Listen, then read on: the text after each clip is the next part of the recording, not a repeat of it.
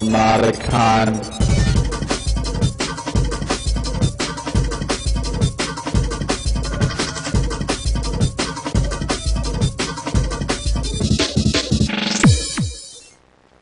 At any rate, uh, to give you a little background on Fark, some of you may have heard this before, some of you may have not, but uh, about seven years ago, Fark looked like this.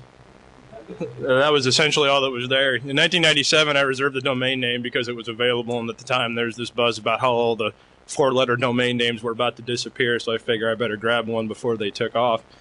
Uh, and at the time, I didn't have any good idea for what to put there. And it just so happened the day that I reserved the domain name, somebody sent me this picture of the squirrel with their large nuts.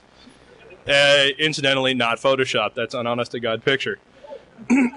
I've actually since come into contact with the guy that took the photo. Um, every every time somebody sends me a picture of that guy on somebody's T-shirt or whatever, a public sighting, I'll forward it to him because almost always it's not licensed. And the guy's a pretty cool guy actually. He told us we could go ahead and use that whenever we wanted to as long as we gave him proper attribution and so try to help him out. But he, he confided to me once that he says that he's he's a photographer that's been in the business for 30 years. Has taken probably upwards of 100,000 photographs. And to have the one picture of his entire career that everybody has seen be this is pretty humbling uh,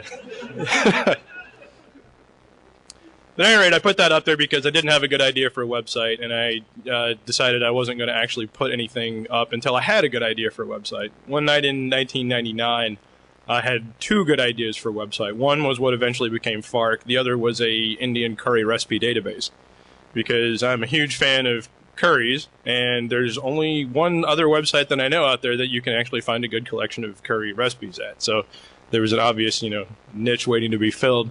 And I, honest to God, sat up that night thinking, which one should I do? And I went back and forth in my head over and over again, and finally said, well, I'll, I'll give the news thing a shot. We'll see what happens. Started out, it uh, it, it looks pretty much like it did today. Uh, less advertising, obviously, because we didn't have any, and uh, just kind of updated it on a manual basis, rolled it out the door in February of 1999 added comments about a year and a half later. It ended up uh, going from 50,000 page views the first year to a million the second year, which was phenomenal until we ended up hitting last year, it was 450 million page views.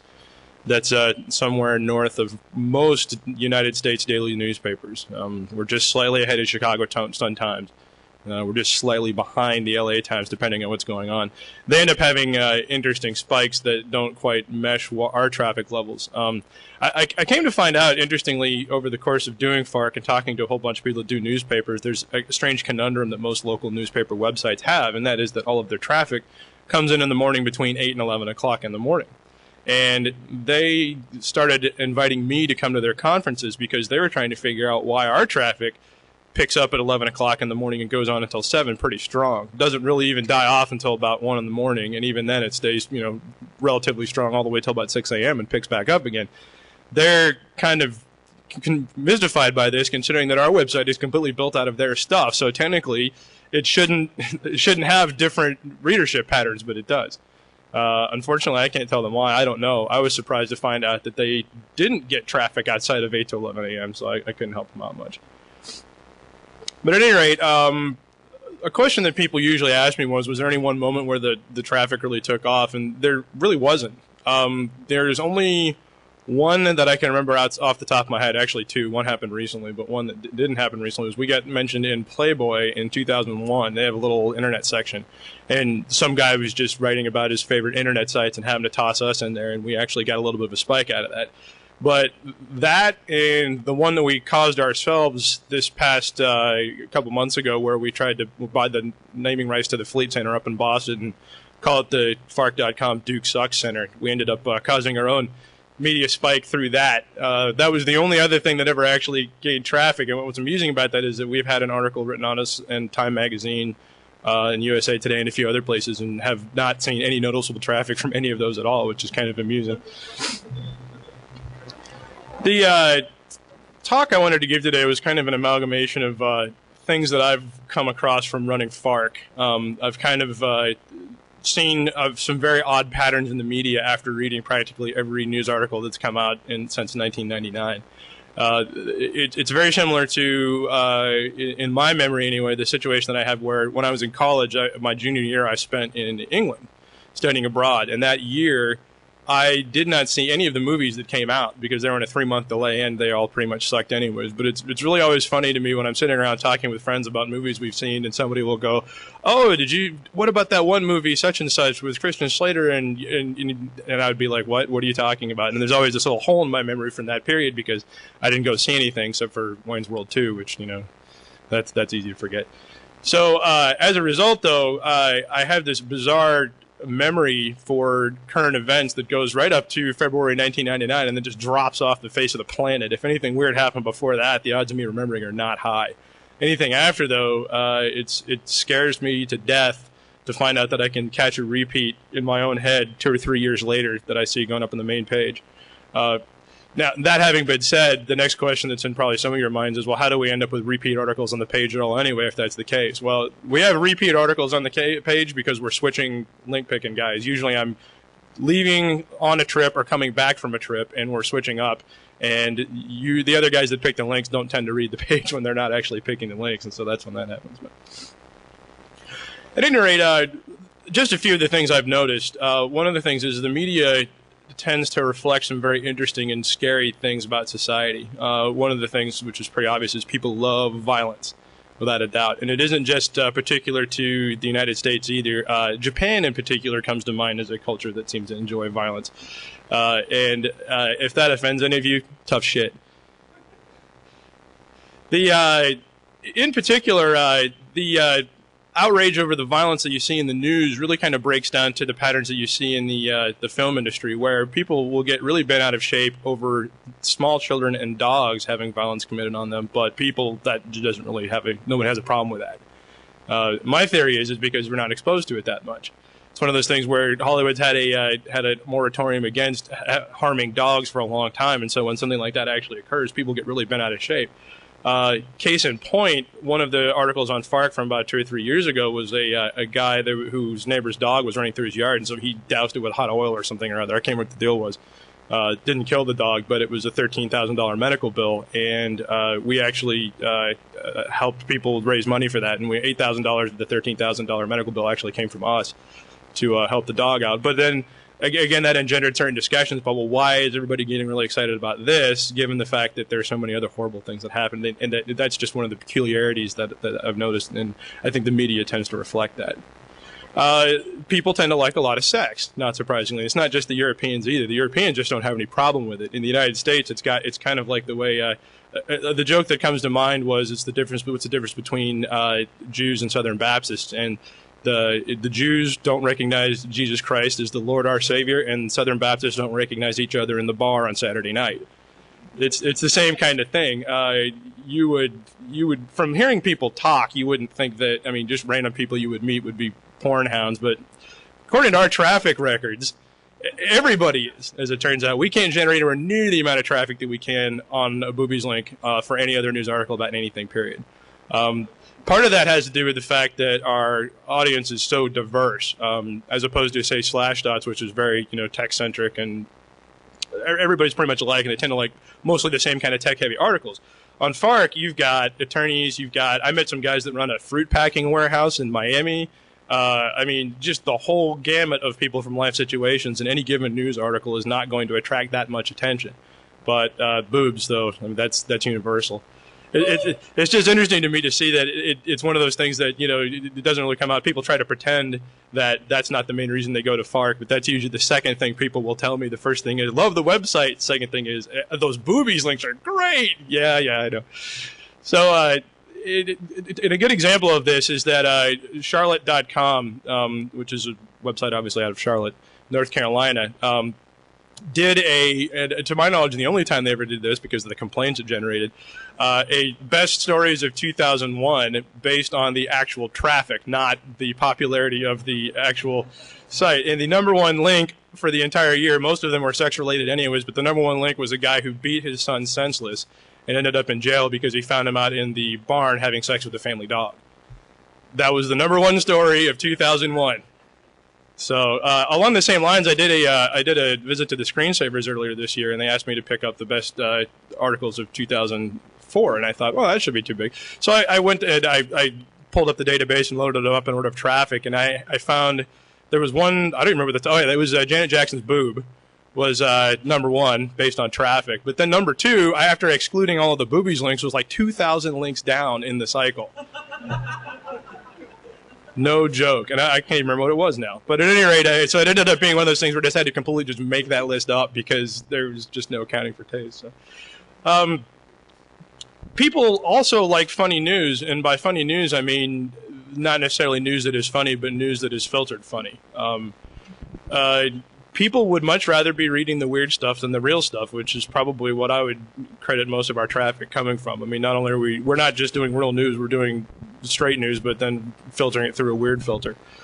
Uh, basically, though, we've also been seeing patterns in the media where they've been drifting that direction themselves. Um, for example, CNN now at any given time during the day has one or two links in their top six that'll be, you know, like finger found in Wendy's chili. Now, I don't understand why on CNN that orders that am- amount of attention. I mean, with us, you know, that's a, that's a big story, but with with CNN, where you've got you know five or six links to basically cover all of the news that's even worth seeing, they've always devoted that last one to something completely bizarro, and in some cases, the last two.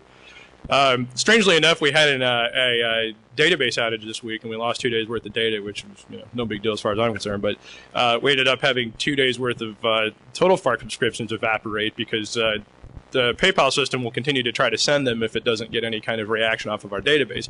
But our database did react, and then it blew up. So I had to go back and back out all those transactions. Turns out on April 6th, there was a uh, sign up from a PayPal account named CNN with a guy uh, whose email address was at turner.com that signed up for it. And I thought that was kind of interesting. I wonder what those guys are doing. I have a contact over at CNN. I asked him if uh, he knew who that was, and he's like, no. He's like, that's just probably just some other news writer that's looking to kill, you know, 12 hours of his 16 hour workday by not doing anything. Um, Another conversation I've had in the last few years is with uh, IOL, which is a uh, it's a news organization based out of South Africa, and they were telling me that they had made a decision based on the traffic they were just getting from us to skew their entire newspaper towards the more weird news because that was getting more traffic than anything else. Um, they can't possibly be the only guys that have made that decision, um, in my opinion. Uh, the only other news organization that I can think of that's kind of gone that route, but not really, would be Aftenposten in Norway. But they live in Norway, and people are a little crazy up there because it doesn't, sun's not out too much during the winter, and it makes them go a little nutty. So uh, I don't think they're trying to find weird news up there. I think they just have it. I mean, they, they, it's it's an it's an odd, fun little country. Uh, oh, by the way, too, if anybody at any time has any questions, feel free to stop me. I'm more just up here rambling than anything else. You're not going to break my concentration or anything. So, yeah. Yeah. Mm-hmm.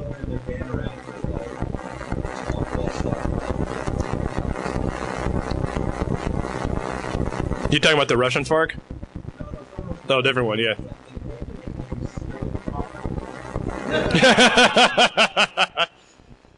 Yeah, I don't know. Pravda, yeah, Pravda sometimes. Pravda had a funny conversation. I, I, actually went and visited those guys a few years ago, and we were sitting around, and they said that they had noticed not only the weird news thing, but even the shit they completely make up, like aliens landing or, you know, strange ghosts walking around in the street. They just write those and post them occasionally. They say like, that gets more traffic than anything that, uh, that they ever post, too. Uh, they're just kind of confused by it as well. But of course, in Russia, apparently it's okay to just make shit up, and no one, no one will call you on it one of the one of the interesting things that I've been seeing uh, that I did not know existed before is the, the, what I call the pattern of story dispersion in the media, where something actually occurs and then how does it get to the media, and then once it gets to the media, how does it thrive and how does it move on? Um, as far as how does it get to the media, that's a very interesting thing. Um, there are a couple ways. Basically, rarely does a story reach the media that they weren't tipped off about. Rarely. Um, the story uh, that comes to mind was this past Christmas, where the uh, the parents were upset at the behavior of their children, so they went and moved out on the front lawn for a while. Now, how the media found out about that, either someone who's living in the neighborhood or they called specifically to try to draw attention to themselves. Uh, it, it's hard to say. But the other way that things get into the media is is that they will send press releases with bullshit studies. And every single one of you in this room has seen several and probably not even known it. Um, a good example of one that keeps coming back around year after year because I think the same guys keep think, sending the same press release out is the one about how Germans have smaller penises. Have you guys seen that one? They, they talk about how condom manufacturers are frustrated because they have to make them in a smaller size for Germany. Every time that sucker comes around, it's like almost on a yearly basis. I always wondered, who, who the hell actually ran that study? I find it really suspect, is what it boils down to. That doesn't seem like it makes a lot of sense.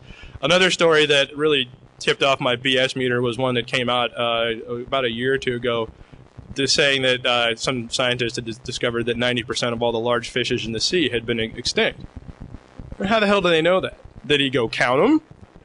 Did they know how many there were before? Do they know how many there are now? You know, it, there were just so many things wrong with it, but the AP had picked this thing up verbatim and just ran it. And it's it's, one of those things where, uh, from talking to some of the media guys, it's plausible deniability. They can run this stuff because they it, it's, it's not their fault. They're, they're not their responsibility, rather, to get this right. They can say, well, this Yahoo over here says the following and run it, and then it'll just go. But it's not their fault if he's wrong. I don't know if that makes any sense or not. But it's basically plausible deniability for them. One of the other things that I, I see floating around out there is the media eats itself, or more to the uh, more to the point, copies itself like crazy. We've been noticing this on Fark for a long time. It started uh, around 2000 or so when uh, one of the DJs that was reading Fark told me that Clear Channel had circulated a memo to all of its DJs telling them to go to Fark to get all their news. Uh, it's been a long damn time since I met a radio guy that hadn't heard of what Fark was and used on a regular basis. That, that's great as far as I'm concerned. It's a lot of fun. But some interesting patterns started showing up as FARC grew in popularity, where you could see a, a, a, link that would get posted on Fark that would come through, and we would stick it up, you know, out of somebody's you know local newspaper or whatever, and then overnight it would just explode, show up everywhere in most of the radio stations. You, in most cases, the next day because I'm not getting up early enough for the East Coast guys to, to use us as material, and uh, then over the next course, the next few days, then you get CNN on top of it, and then eventually you'd see it would end with uh, either NPR running an article on it or showing up on the Daily Show where they actually go interview the guys.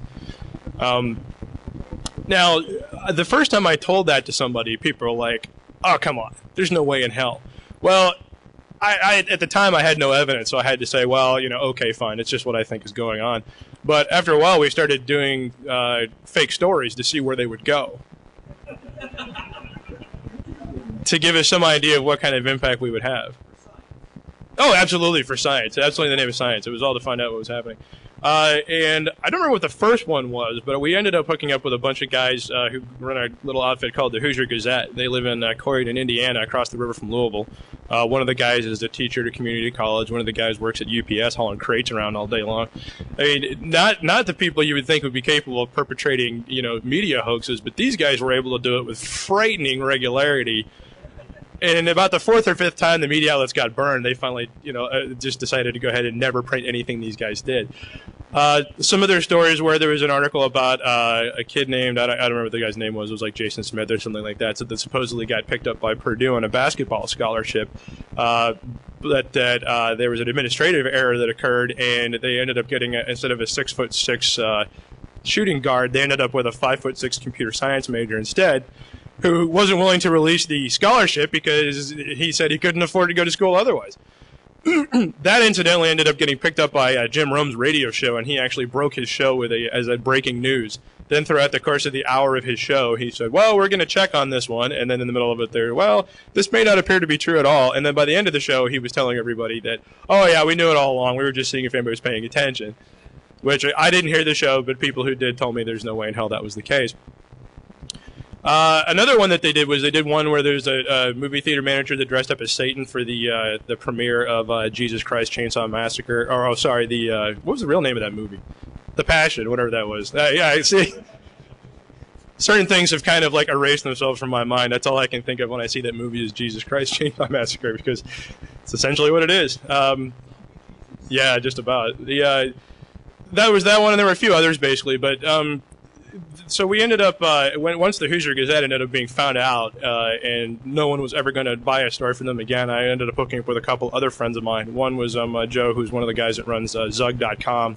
It's a prank site that's been around forever. I remember reading that a long time ago, back in 1999. One of my favorite pranks that they ever did was they uh, what they had noticed the fine print on the back of the potato chip bag, the Olestra one said that it may cause anal bleeding. So they decided to see exactly how many Olestra potato chips you would need to eat in order to incur anal bleeding. Was it common? Was it a was it a rare side effect? And it turned out it took five days. the the prank's still up on the website if you want to check it out. It is a little little disgusting, but they uh, the two guys, uh, it was it was uh, uh, Joe and then my uh, other friend Brian Doty, who runs a site called Broken News, which uh, occasionally will pop up under the satire heading rather than because usually the satire stuff is pretty obvious. But they got together and they decided that it seemed pretty easy to fake the media. So what if they actually tried? And so they did. They ended up uh, the first one that they did. They put it together a uh, website, and they actually called it. And I think it's still up. Let's see if I can find it here. They called it. Uh, you you would think that the uh, the moniker WTF TV would tip people off, but you'd be wrong. I don't know if it's still there now. Yeah, here it is. This is their fake news site. Is uh, 15 fans, four police officers injured after brawl with Kenny Rogers' bodyguard. This entire website is fake this whole thing. They did it based on a, around a city called Hazleton. They made fake ads. There are actually other fake articles, current weather conditions, and the reason that they uh, this worked, one of the reasons this worked, was because I don't know if you you probably have noticed that of all of the other local TV news sites out there, they all pretty much have the exact same look and feel. Well, there's a reason for that. It's because the same company does them all. There, I actually I forget the name of them, but they run like 95 to 100 different television websites around the country, and in some cases, the same different affiliates in the same market uh, where they'll be running the CBS and the ABC affiliate at the same time. And the pages look almost exactly the same. I, I attended a presentation with these guys where they try to say, what? They're really different. Anybody can tell. No, they can't. Uh, as evidenced by this. Um, so, uh, and, and then the second one they did was actually one of my favorites. Was the one where they had announced that uh, California, to combat obesity, uh, had decided to start sterilizing fat people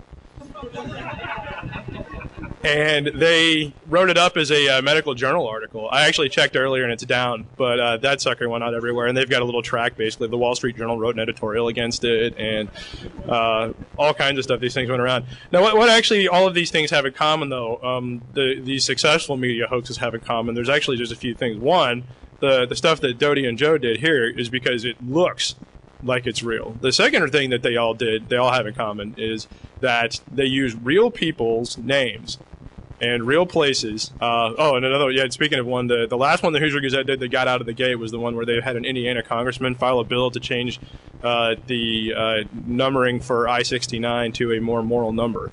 Uh, and uh, that shut their office down for a week. with people. Uh, but it, interestingly, they talked to the staffer after it was all over, and he said he was shocked at how many people are actually in favor of it. So at any rate, but uh, and, and, the reason that they used that it was successful because of using real names of people, places, and things is because the, the the real regular media does do research on these stories, and what they do is they find the names of the people involved and they Google them. Oh, this person exists. Great. Okay, are they at this university? Yep, sure are. All right, run it. And that's it, honest to God. And that's why this stuff works. And Doty's basically his whole argument against doing the, or for doing this in every single case is trying to point out the fact that the media doesn't do any fact checking at all. In fact, I've done probably 50 to 100 newspaper and magazine ads, and only once have I been called by a fact checker to double check to make sure that what they wrote down was correct. Only once. So that kind of exposes some interesting things about the media. Basically, what they're doing is you have a whole bunch of people that are sitting around that need to produce stuff. They've got to write articles about something, and if there's nothing to do, they got to go find it one way or the other.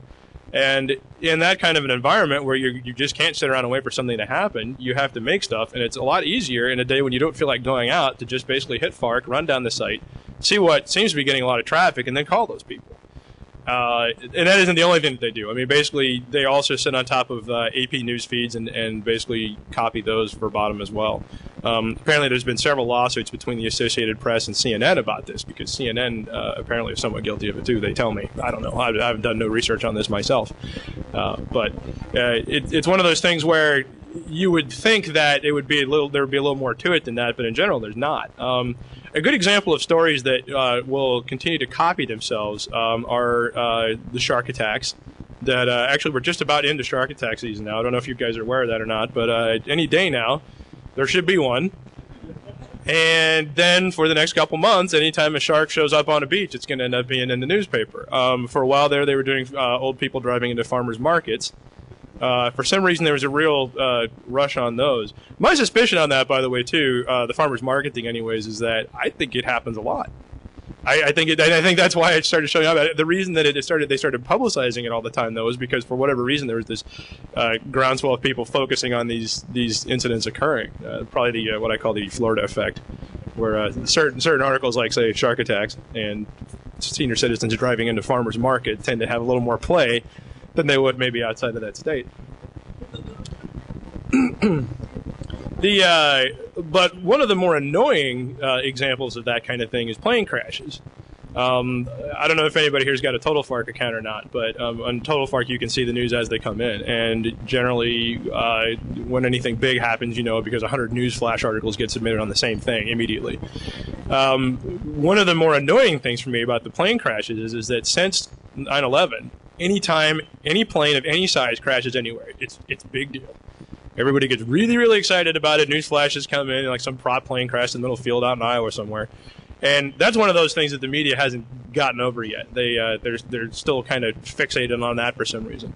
But it turns out that although journalists aren't necessarily taught that there are certain types of stories that you can always go to, there's there's this kind of this understanding amongst all of them that there are certain stories that will always get play like the human interest stories, like around Christmas time, where you got the family that had the house burned down, that always flies. Or, uh, you know, let's say the, the small child in your community that may be raising money for cancer by selling toys at the hospital, whatever. I mean, every single community has these things, and they cycle back around all the time and it's it's interesting that they they continue to do this. Um, a lot of people have pointed out that are, are, are claiming that it's because there's this liberal bias in the media. As far as I can tell, with the exception of Fox News, there's not really any political bias per se. I don't see anybody trying real hard to have a liberal bias. But what I do see is a lazy and a stupid bias. And I'll give you an example of that. Um, the there was an article that I saw uh, right around the time of the election, which was really interesting. Um, that was flipping back and forth, and they were doing the polls, and the polls were getting all kinds of strange results. Where right towards the end, some days Kerry was winning, some days Bush was winning. You never could tell. And I started to notice that whenever they were discussing poll numbers, whenever they were talking about uh, Kerry being in the lead, they'd say he's got a lead of three percentage points, and they just kind of drop it as that. Whenever Bush was in the lead, they go Bush has a lead of three percentage points, well within the margin of error that was always tacked on to the end of it, and I thought, well, that's really kind of bizarre. What you know, as if the margin of error, which yeah, okay, the margin of error is plus or minus three percentage points, but it's almost never three. I mean, I don't know if you guys know anything about math and standard deviations, but I mean, the odds of that actually occurring are slim to none. But it was it was an interesting caveat that kept on getting thrown in that I would see occasionally from some news channels where anytime there was some bad news out of a particular candidate, with Fox it's obvious because they're not trying to hide it, but with the other ones, there was more there would there would be some bad news about a candidate that the newscaster supported, and then they would then finish their story by trying to mitigate the damage, like, oh, it's well within the margin of error, or they don't really need that state, had no chance to win in the first place, or you know, et cetera, et cetera, and so on. Um, and, and I call that the lazy bias because I don't believe that any of these people were actually trying to do that on purpose. I really don't. I don't think that there are very many media guys out there that are trying to show for their own candidates. I think they go out of their way to not do that, but I think that after a while, some of this just kind of creeps in on its own anyhow. Um, as far as the uh, the copying of the articles go, though, there's some really interesting. None of these guys are actually supposed to do this. It's illegal, as it turns out. In fact, I talked to uh, one uh, Farker who works uh, or worked because she she switched jobs for Westwood One Radio out in Los Angeles and was talking about how they actually had a edict come down from on high never even mention any AP article at all, period. If you see it in the AP, find it from some other news source, but don't do it because there have been so many lawsuits over them using AP articles because you guys may not be aware, but radio stations are not allowed to read stories on the air without giving proper attribution. They do it. Uh, that's part of the reason why clipping services exist, uh, where basically what clipping services are doing is essentially kind of like what we're doing. Uh, they take the news, they rewrite it, and then they send it on. That's actually illegal because news is not something you can actually copyright or, or trademark. Uh, if it actually occurred, then it, then it, it, can be talked about by somebody else. There's an interesting court case before uh, coming up to the Supreme Court. I think I, I, forget which. My my mind's not really good on the details here. Over fantasy baseball, um, Major League Baseball sold the exclusive rights to fantasy baseball to an outfit. Uh, I forget how many millions of dollars they did. And there's been a lawsuit going on saying you can't do that because you can't sell statistics on sports. Like they can't sell the sole right to cover the story. They can do the immediate broadcast rights, but they can't prevent other newspapers from saying, you know, yesterday the Yankees lost to the Red Sox. Can't do that. And they're basically now fighting over the details of whether or not you can do that for baseball statistics or not. Um, it's also going on in uh, England over uh, fantasy football, soccer there. Uh, the same kind of uh, situation going on. They end up, but but a lot of these statistics and whatever are actually copied verbatim from other news sources. It's something they're kind of dancing around in the actual court case, but that's most of the time where it comes from. Because I guarantee you, there's not every news outlet in the United States that's got a guy sitting in every ballpark in America counting the number of pitches and walks and whatever, and then basically doing the calculations there. They're just reading it off of the AP newsfeed or ESPN or somewhere and then copying it. Um, we ended up uh, coming across this situation occurring on Fark on a pretty early basis. And just for the record, I don't really care if people copy stuff off Fark. I don't care if they find news stories on Fark. We don't own them. It's not our deal. What I do care about is when they start like reading it word for word or going into the comments and pulling out all the good jokes and using them in say Jay Leno's monologues, which has been happening with frighteningly regular basis lately. Uh, to the point where we've actually started keeping a little file. When it gets up to about 100, we're going to call those guys and see what they uh, got going on. But at any rate, uh, early on uh, in uh, Fark's history, right around 9/11, nothing funny was going on for about a week, and after a while, this got to be really tedious, and so. On the Sunday after 9 11, I put up a little thing on the website and said basically, you know, we need to get something funny going on here. Since the media isn't coming up with any funny news articles, why don't you go back into the archives and find what you think are the best stories that you ever saw on Fark, and we'll just run those again. So we did. One of the stories in particular was a 18 month old article from, of all places, the Lexington Herald Leader, which is my hometown newspaper, about the correlation between creativity and people being crazy. Uh, basically talking about uh, how people that have uh, they've been having problems with people getting on Prozac and other depression medications and then losing their ability to create. Uh, interestingly enough, I've run into a couple uh, artists who are very successful. Um, Dale Chihuly actually being one of them. I don't know who he is or not, but not important. Who, when he's on his medication, he can't function. I mean, he can function as a human being. He can't create anything. It totally saps it away. Uh, he has to actually go off his medication for a while in order to actually do stuff, and so he just kind of does that whenever he gets a gets a chance. Um, so we put this thing we put this thing up online, and Ananova ran it as breaking news.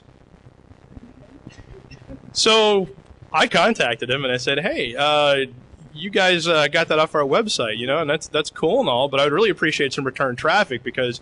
I, would run the I'd run the stats on our database, and the time we had sent them almost a million page views, uh, just in the year and a half since we've been tracking the stats at all. And I figured, you know, hey, just you know, give us if you're getting so much of your stuff from us, just you know, mention us once in a while. That'd be great. Uh, and they're like, no, we didn't. That that came through our newswire.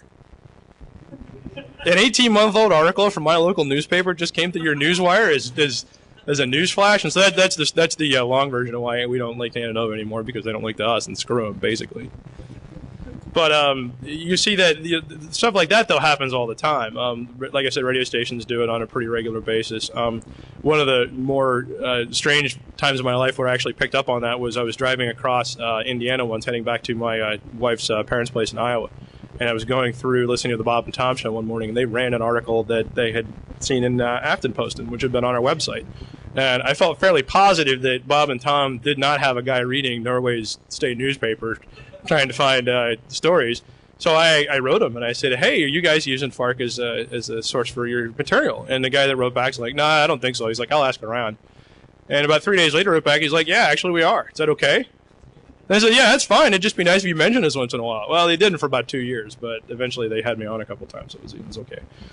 Um, but at any rate, uh, it, it's one of those things that uh, you could argue that it's just another sign of how the media is degrading, except that uh, the copying of the stories and also basically the just kind of filling in the blanks with you know BS stories and whatnot.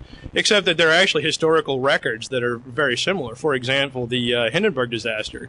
Uh, the initial news reports from that are full of all kinds of inconsistencies because they basically didn't have the information and they and they wrote up. In fact, the real cause of the Hindenburg disaster was only publicized recently and it had nothing to do with what they originally thought it was. Um, I, will, I won't go into the details of it, but it's, it's, it's, fairly interesting. Somebody talked to me in the bar about this later on, and this isn't one of those tinfoil hat things. It was a PBS special I thought was really cool. Uh, the short version is they coated the outside of the Hindenburg with rocket fuel. No kidding. They didn't know it was rocket fuel. They just found out the hard way. Um, the uh, Titanic disaster was the same way. Um, there was a lot of uh, misinformation that came out around that at around the same time. And you could actually see the misinformation go from the New York Times to the smaller town newspapers as it's copied verbatim over and over and over again. Um, I, I, I, again, have done no studies on this, but I'm fairly positive that, you know, you could go back in time 150 years to Kansas City, and the local newspaper editor would open up the copy of the New York Times that he got sent to him every day, which, you know, wouldn't arrive for about two weeks, and it just start going down through there cut some stuff up with the scissors and reprint it. I, I think it's something that's been going on since the beginning of time, and it's one of those things that's just you know easier to do. But it was interesting to me to see how prevalent it is. Uh, essentially, there are only, as far as I can tell, about three sources of media uh, that, of news stuff: AP, Reuters, and then local newspapers. And by local, I mean like ground level stuff, like something that happened in the community that you wouldn't have otherwise come across. Uh, and in general, anything that makes it into the AP, even if it's wrong, even if it's obviously wrong, will get printed and it goes back to plausible deniability again. It's one of those things where they can say, well, you know, we picked it up off the AP. We didn't know it was wrong. They're supposed to be checking that stuff. And generally, AP is pretty good about getting stuff right, but it's one of those things where newspapers that know better that have AP feeds will just pass this stuff on because they know that there's there's absolutely no retribution for them whatsoever. Yes. Oh, are there?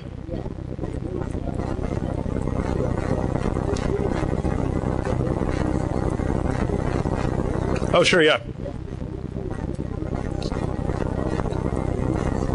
Oh, good. Yep. Yeah. Well, that makes a lot of sense, and that goes into something that I'm kind of moving in the direction of talking about the the, uh, the future of media and how that's going to go. That's that's essentially what seems to me to be the breakdown of the way things are headed. Media is basically going to have to decide what it is. Uh, back in the day, you had your local newspaper would have been the local source for basically all your straight up news. Maybe your TV station would have been too, or it would have been a network television that would be the uh, the main source of all hard news. Now what's happening is is that with you know 3,000 media sites out on the internet, basically all saying the same thing, they're going to have to differentiate in order to be able to survive. And in order to do that, they're going to have to frame their news one way or the other. They can either take the high road, be like CNN, say, well, we're just going to report news and that's it, or go the political route like Fox and basically filter all their stuff through a, a, conservative or a liberal viewpoint.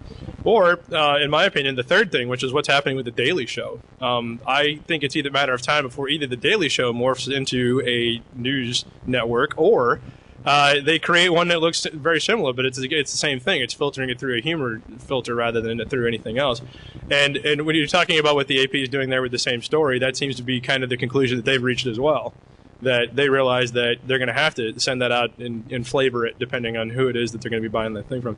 That, that's going to be a real pain in the ass for me though, because that just means every article that I get, you have to see 2,000 times a day anyway, is going to come in 6,000 times a day. Great. Speaking of AP, interestingly enough, one of the things that we've been working on, we're actually getting an AP news feed for Fark since it occurred to me, I saw all the traffic we've been sending to Yahoo over the years for the AP feeds, and I'm just like, well, Christ, we should just do that ourselves. This isn't that expensive, and so we're, we're hooking it up. Turns out the problem is is that the way they have the uh, AP feed set up, if you're running it on Windows boxes, they've got like a plug and play thing where they just give it to you and it runs. If you don't, then you have to build it yourself, and that's been kind of the holdup. They, uh, they they say that they have a lot of news sites out there that do that, but you know they they read their own thing, and so they haven't really come up with anything that, that you can just drop in and use. So that's their big holdup on that. But that'll be interesting to see how that goes already talked about the uh, the fake research and statistics. Uh, like I said, you can there's there's a whole bunch of other ones out there too. I mean, it, it's kind of like it sits on the level of like an Uber urban legend, not necessarily like because urban legends are fairly obvious eventually, but the Uber ones I'm talking about are stuff like the uh, the one about where back in, the uh, dot com boom, uh, WorldCom was claiming that internet traffic was doubling every 100 days. Well, they just repeated it because, you know, no one's checking that kind of stuff. Turned out to be completely bogus. They were basically using it to inflate their stock value by hyping the fact that we're an internet company, we're going to be really big, look at us grow, our stock value should double every 100 days, is what they were really saying. Um, but it was just one of those things, again, like I said, where if somebody else says it, the media's got plausible deniability, they can just go ahead and run it. It's no big deal. Um, there are other examples too, like say nine one. There were 9/11 families that were supposedly suing Iraq for 116 trillion dollars or whatever. They uh, had uh, had basically made a mistake and they had added three zeros by accident. Um, and again, no one ever picked it up. They didn't really care.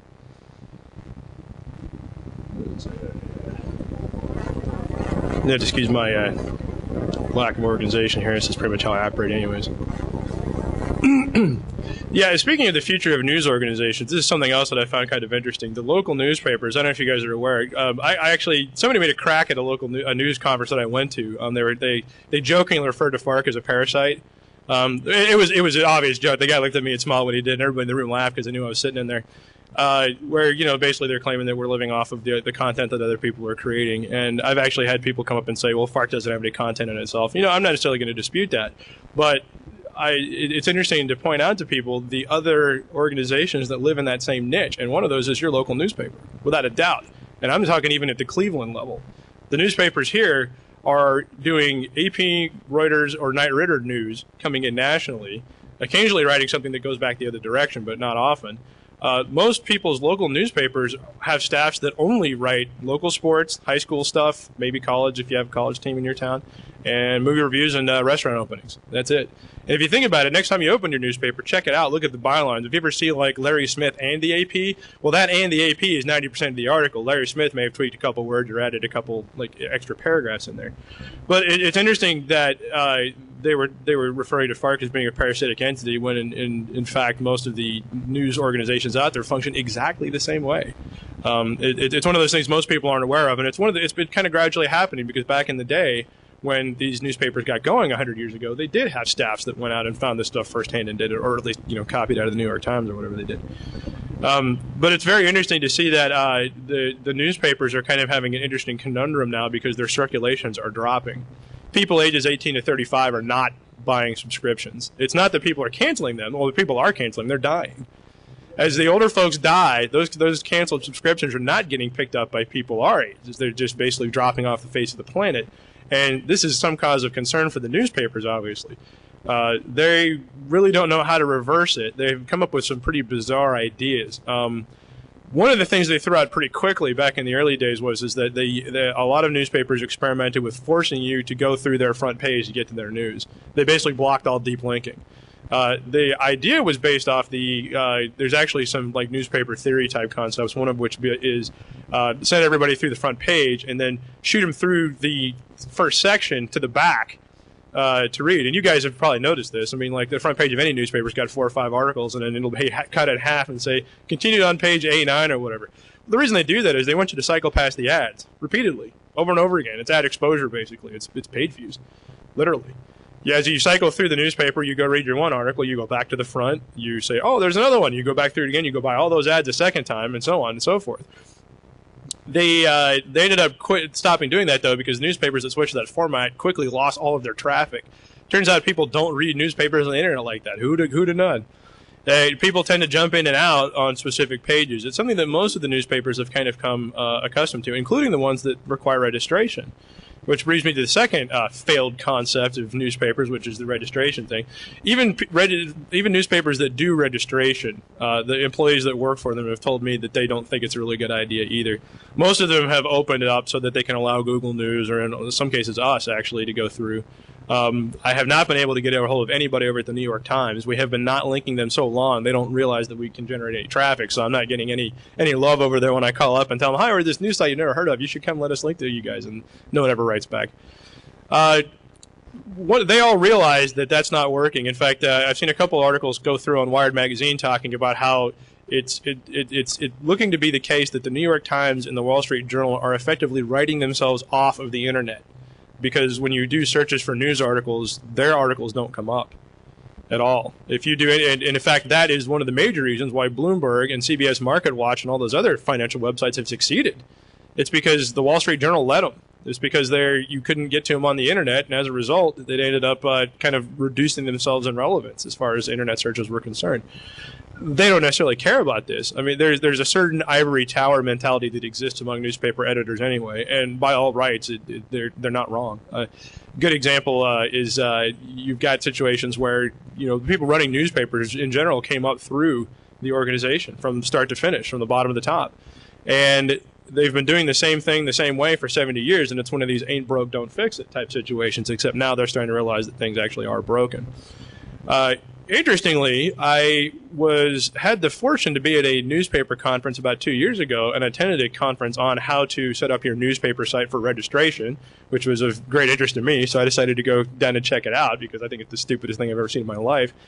And as it turns out, the major motivation for newspaper sites to have registration in the first place is so they can harvest your emails and sell them to spammers.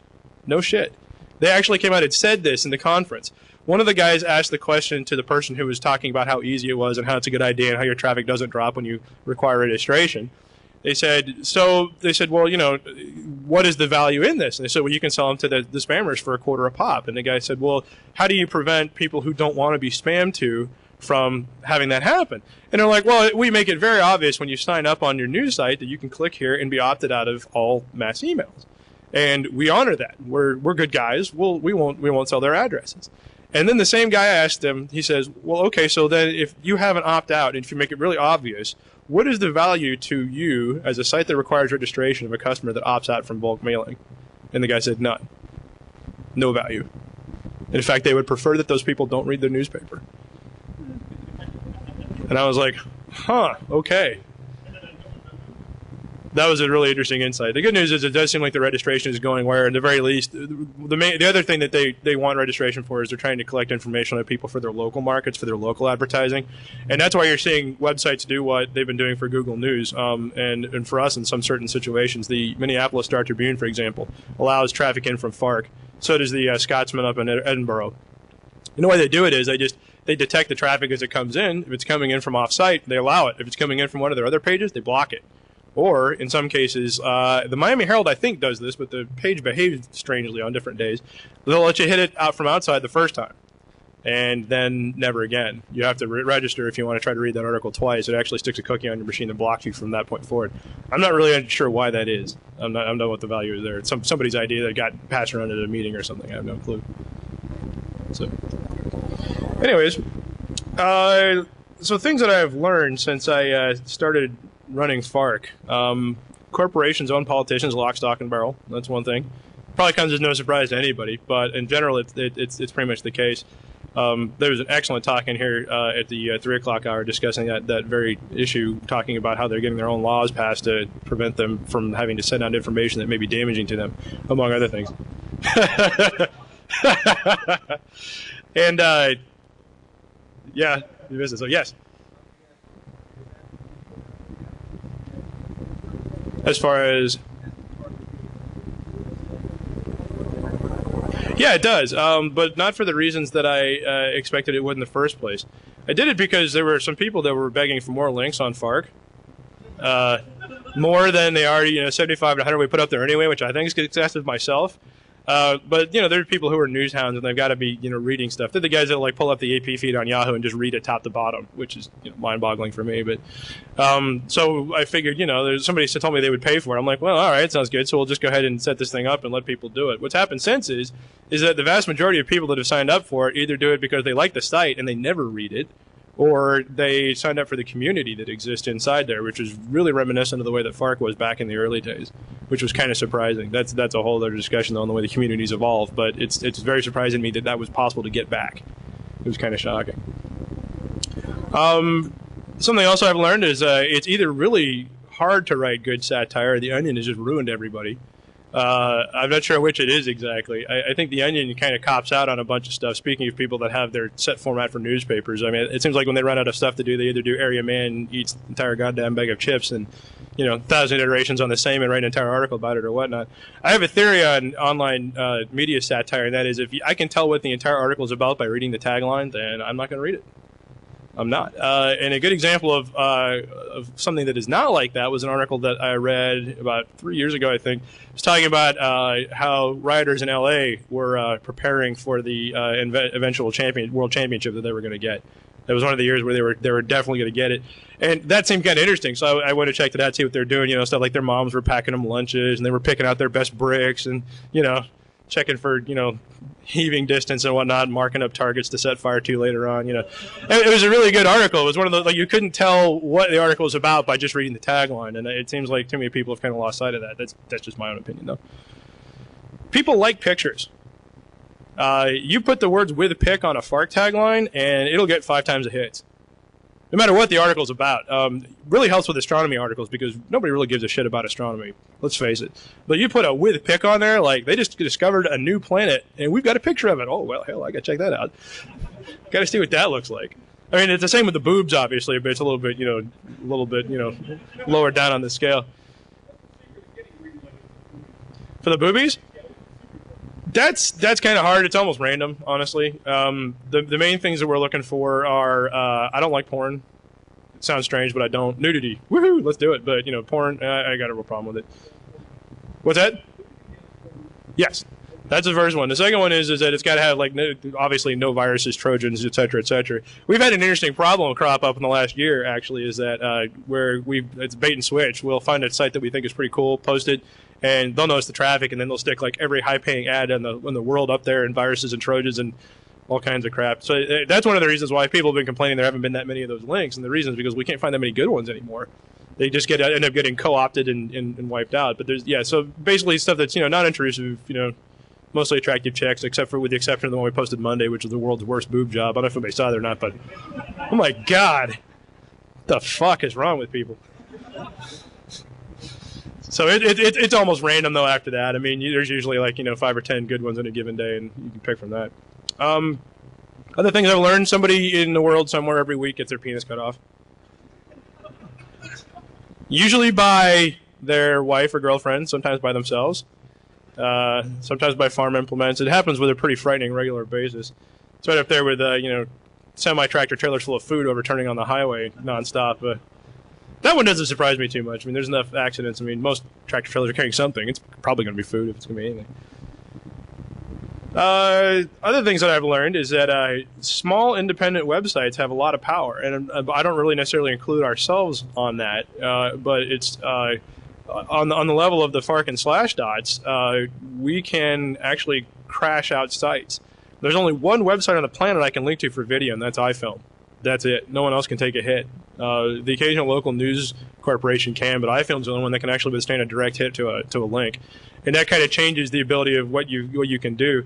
Um, it's gotten to the point now where I actually have iFilm's contact information, and whenever something happens that I need to have video too, I contact them. And a good example that was a buddy called me up right in the middle of Jon Stewart's uh, famed appearance on Crossfire, where he was calling them all a bunch of dicks.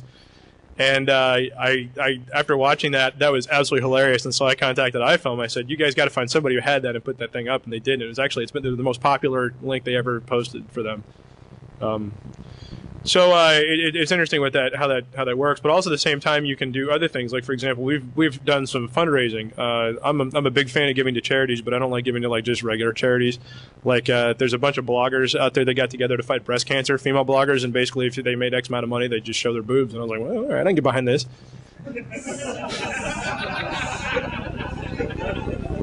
Uh, there's uh, there's Ernie from Ernie's House at Whoop Ass. He's got his thing called Let's Bring Him Home that he does every Christmas, where he was in the military, and it turns out if you're in the military and you've got leave over Christmas, and most of them do, you can afford to have your own plane ticket home. You can go home. But if you're in Afghanistan, you know that's that's a little difficult, isn't it? It's a very expensive, takes a lot of time.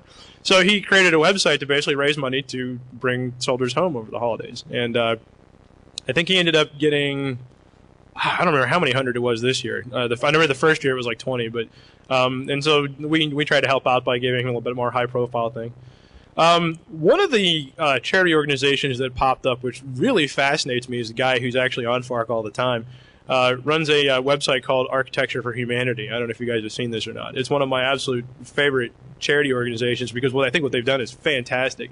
This guy created a little. He's an architect, and he created a kit that costs two hundred dollars that will convert a container, like that they use on container ships to haul freight around the globe, into a house. It basically consists of a tarp you put over top of it so you don't melt, and a little kit that transfers makes the door easier to open on the front and without without having the heat directly on the metal, you can turn these things into housing no problem. They dropped off. I, I, can't remember how many thousands of these things they dropped off out in the uh, Pacific Rim after the tsunami he actually got called up by the UN the following day after that occurred, and they started sh- shipping his stuff out.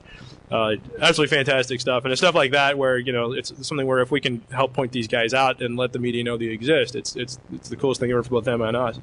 But even then, going down to the more smaller uh, the smaller blogs, even too, it doesn't take a very big blog at all to be able to you know call the New York Times on some bogus information or say you know find somebody's made up a uh, memo that's being used to slander, slander a particular candidate um, it's very interesting seeing that, that there's that level of checking going on. It, it should be interesting to see whether or not that engenders uh, more uh, careful study of the articles that the newspapers are printing, or whether or not they just ignore it completely and continue to do what they've done all along. I have a suspicion that's probably what's what's going to happen. Um, whether or not uh, the news media is changing on a whole is very interesting too, as well. Like I mentioned before, they're doing a lot more in the uh, humor-related area of the, the spectrum. Uh, somebody asked me uh, a while ago whether or not I was concerned that newspapers would prevent us from linking to them, and I don't think they will because basically our traffic is revenue, it's money. They love it. In fact, uh, newspapers compete on a regular basis to get their articles linked on us. I mentioned the CNN thing before. Uh, it's been several years now, but Fox News, USA Today, and ABC News all submit their own articles, as do a lot of local TV stations. Uh, what's really humorous is I was thinking about citing examples, but then I thought I'd probably bust the guys that do this. But you should see some of the taglines that come out on some of these articles submitted by the websites themselves. Shocking. I mean, it's the ones they wish they could write that are just so off color. It's ridiculous. You know, and I'll look at that. I'll be like, did ABC just send that in with that tagline? Oh my god. So it's really, it's really kind of funny. It, it cracks me up.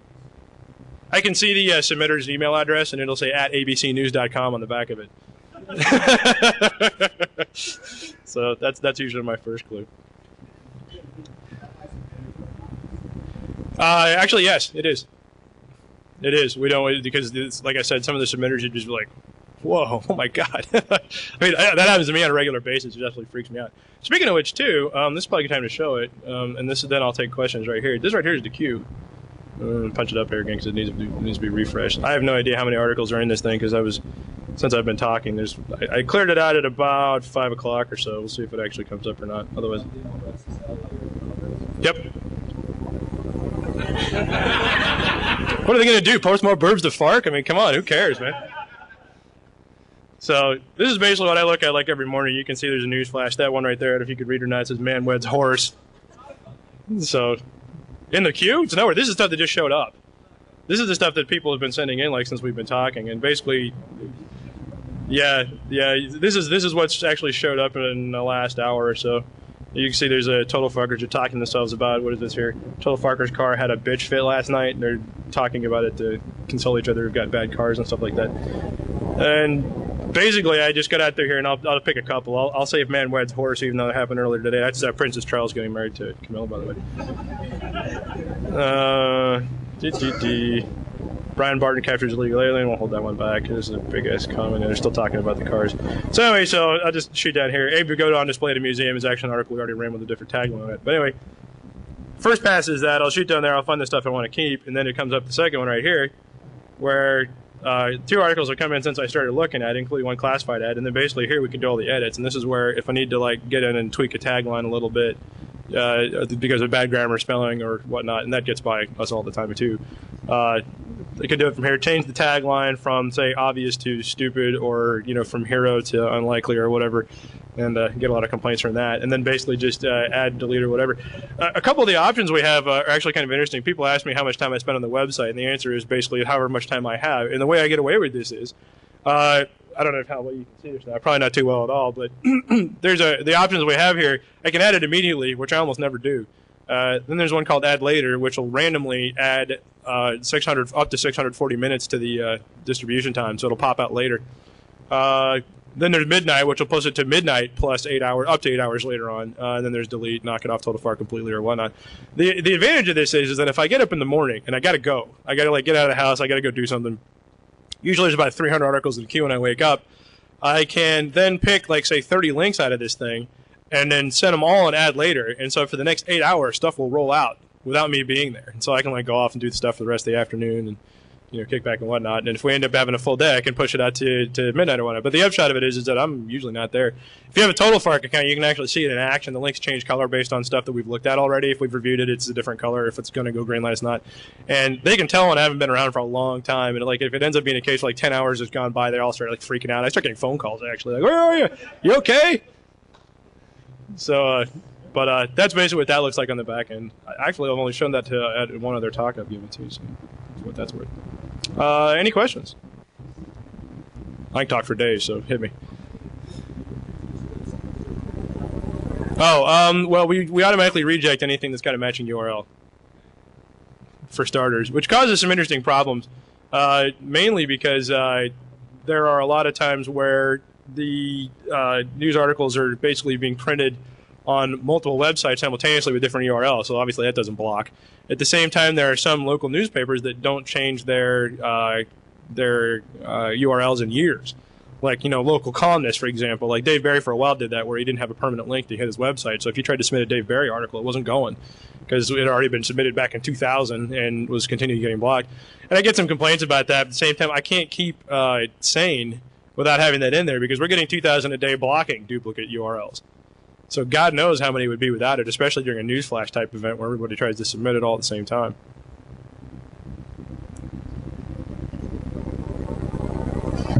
Yes.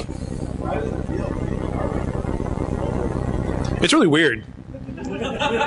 Not surprisingly, it really, it, like I said, I mean, and part of the part of the, the talk I've given here is it kind of maybe portrays the fact that it, it just shouldn't be like that. Honestly, um, something very wrong. Uh, I was talking to some guys. It isn't that we're creating the news. I was talking to some guys at CNN, and they said basically what they're on top of us looking for is they're trying to not figure out what should be news, but what people are finding interesting. I don't know if you can get the distinction there exactly, but that's basically what they're like. They're trying to make their stuff look more interesting, trying to do better lead stories as a result. Um, incidentally, the record for something appearing on Fark that wasn't a major news event showing up on a Fox News ticker is under 15 minutes right now. So it goes pretty quick.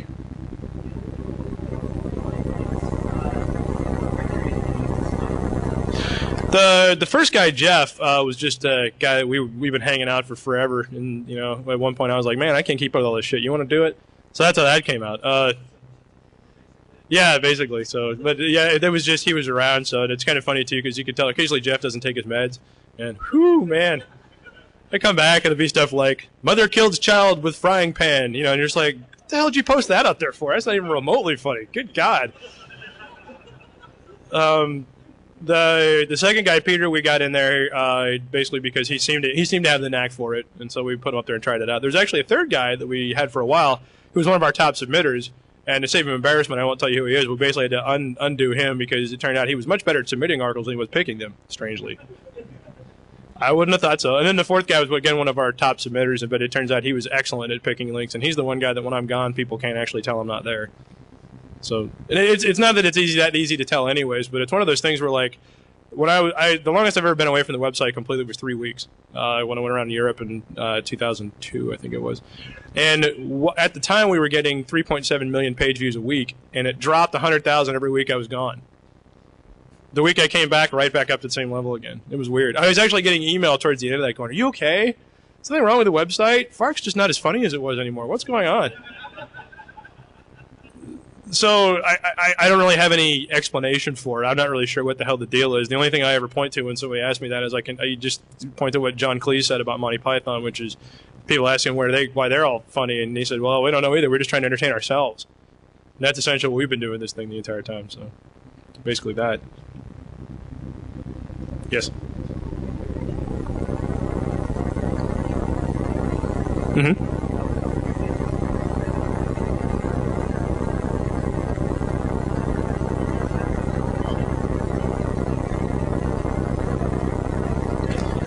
Like uh, yeah, like very like where would you go if you wanted to find a website that's got information that isn't really clouded much by stuff? Uh, Stratfor actually. Stratfor.org, uh, .org, I think it's .org.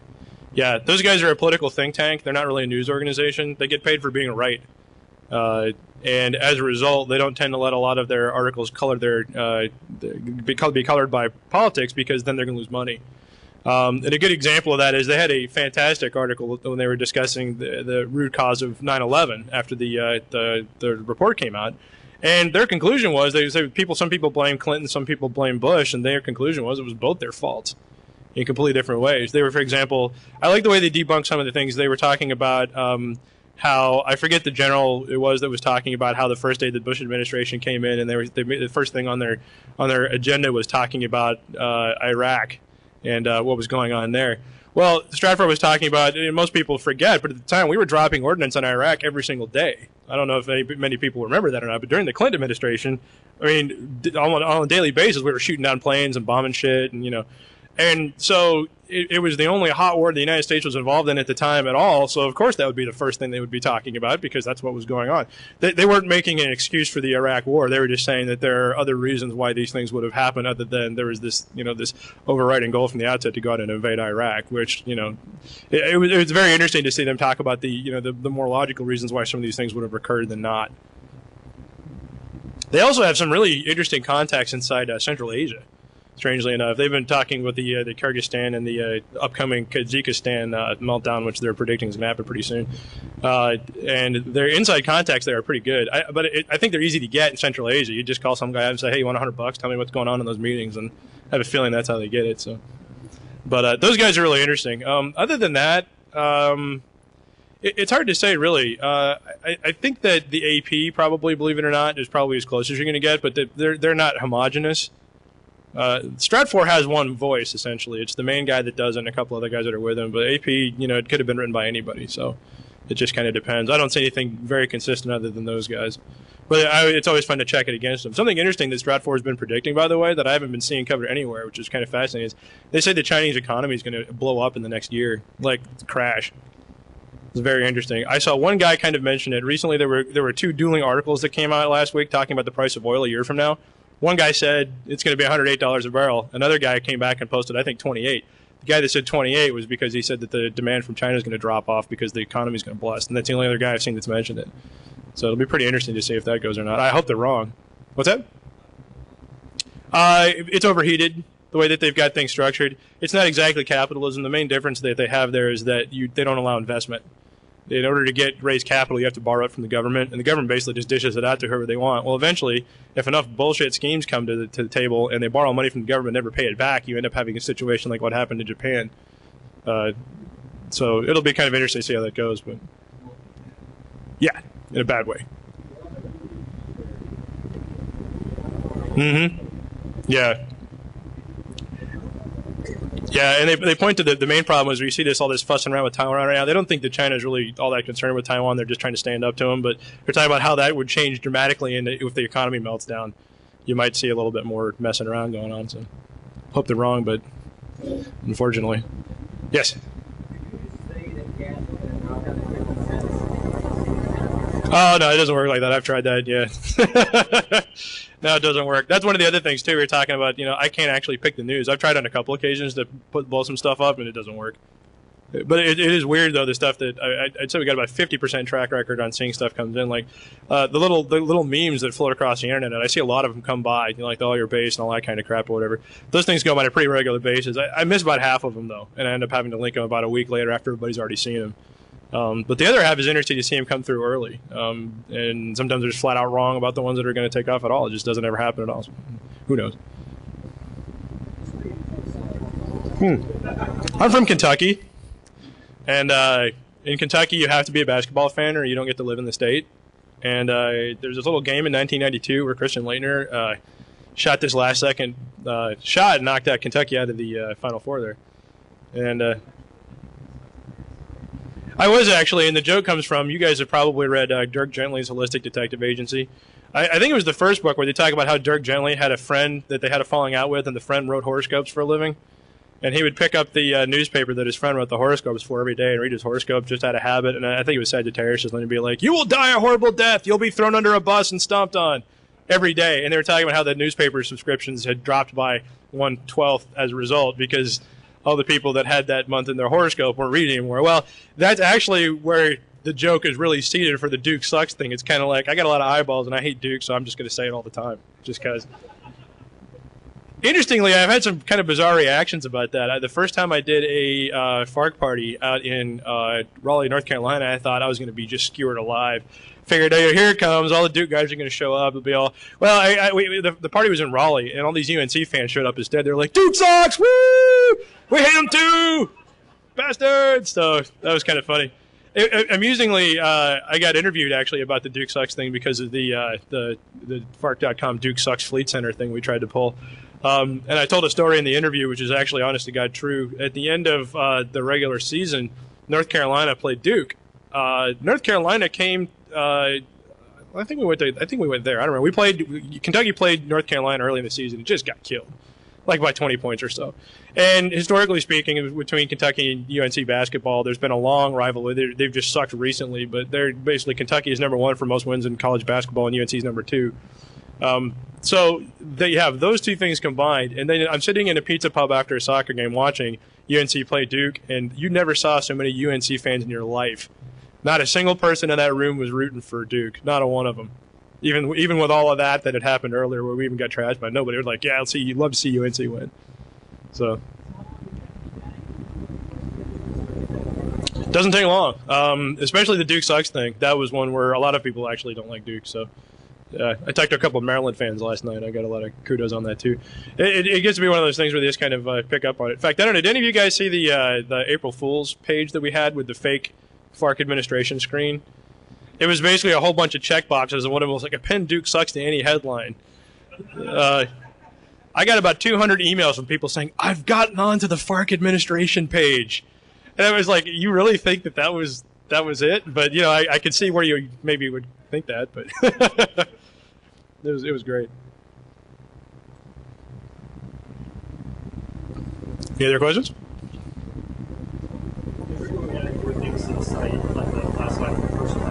Yep.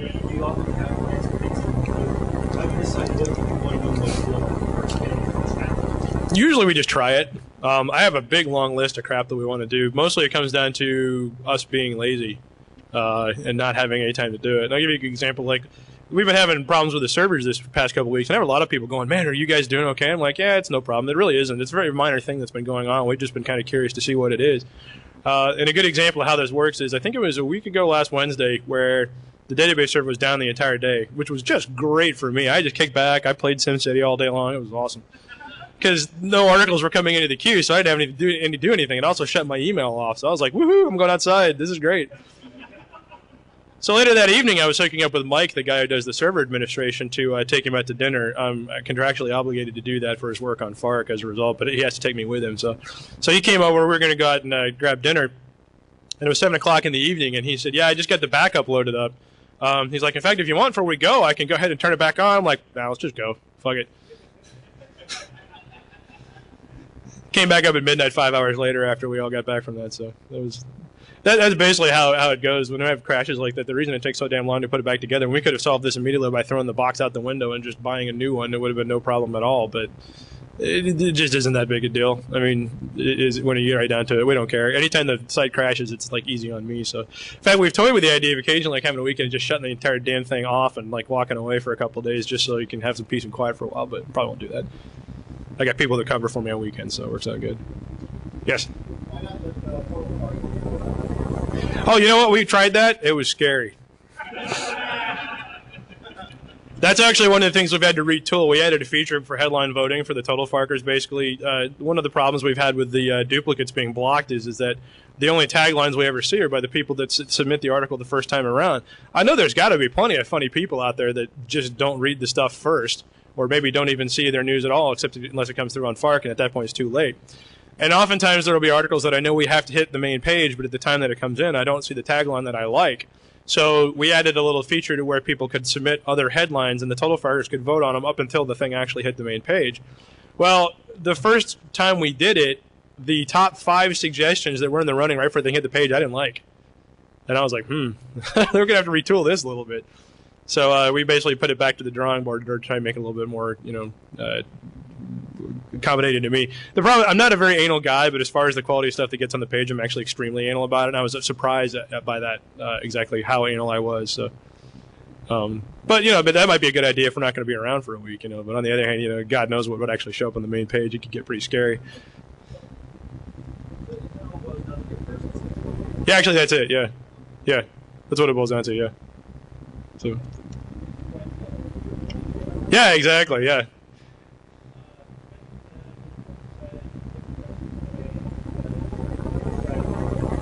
Yep.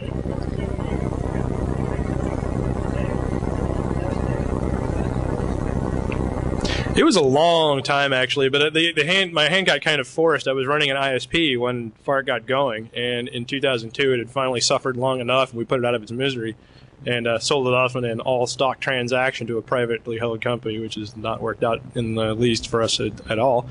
Uh, but then after that, I had nothing to do, and I was like, hmm, well, could go get a job or could see what I can do with this. So that was basically where had. Interestingly, uh, one of the uh, the guys that convinced me to start my ISP in the first place had a similar story. He was a guy. He and his uh, son had bought a comic book store, and he didn't like comic books. He didn't give a crap about them.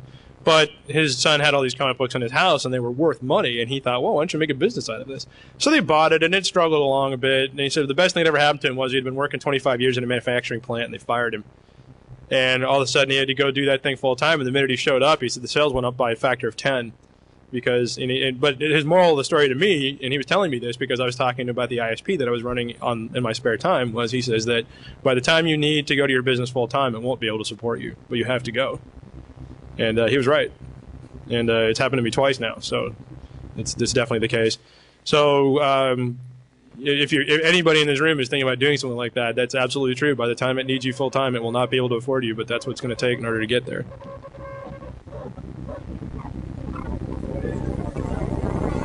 Oh, actually, I don't make that much off of it all, and the main reason is because I'm stockpiling cash from when we eventually get sued.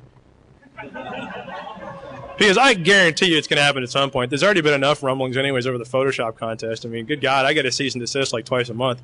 I found a very effective strategy for dealing with them. I delete them. And, uh, and I'm actually not kidding. It's exactly what I do because only like nine times out of ten you'll never get a second one, um, but occasionally you will. There was one though that I got from a company, and I, have basically I've, I've, I've said this before in a couple of interviews I've done that I won't name because things actually worked out pretty well. But had it not worked out well, I would have nailed them to the wall because it was a company that had no business in a million years coming after us. It's some guys that have received some pretty decent benefit from being mentioned on Fark on a regular basis, and you could probably nail that down to a handful of people. But these guys came after us because of a fo- we photoshopped their logo at one, at one point in a contest and uh, got a cease and desist, which I deleted. And the next thing I know, I get it at FedEx in the mail to me.